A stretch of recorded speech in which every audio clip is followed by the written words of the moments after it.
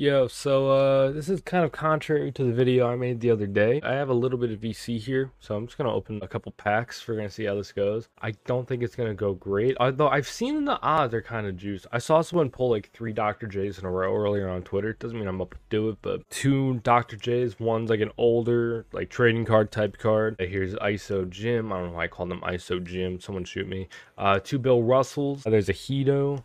Hedo actually might be on for a decent amount. Uh, Paul Horizon. There's Franz Wagner. There's a Eddie Curry. Yeah, I got to cop Eddie Curry. I actually have to buy Eddie Curry. So yeah, I'm just gonna open these packs. I'm not buying uh, 30 bucks for VC. About like 10. This is very contrary to the video I made the other day. But uh, yeah, I'm just gonna start opening. Uh, enough of the talk. Let's get into it. I think this has a shake in it. I saw it move weird. I could be wrong. Up and it's an amethyst. Uh, of, co- of course it is. 91 Warriors. It's Paul Horizon. That's like my 18th Paul Horizon. We have, I think, three more packs. Uh, there's no shake here. We get a Ruby. Yo, let's go. Okay, I'm actually, that's fire. That's actually fire. I'll take Eddie Curry. Thank you, 2K. Give me Pink Diamond. Oh, snap. Okay, we got another diamond. Uh, I pulled a Bill Russell earlier. Can it be like the older Bill Russell?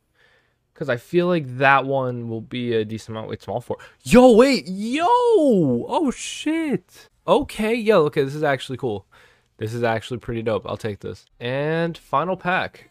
And we will have enough. And this is going to be nothing. I, I already know. Um, okay.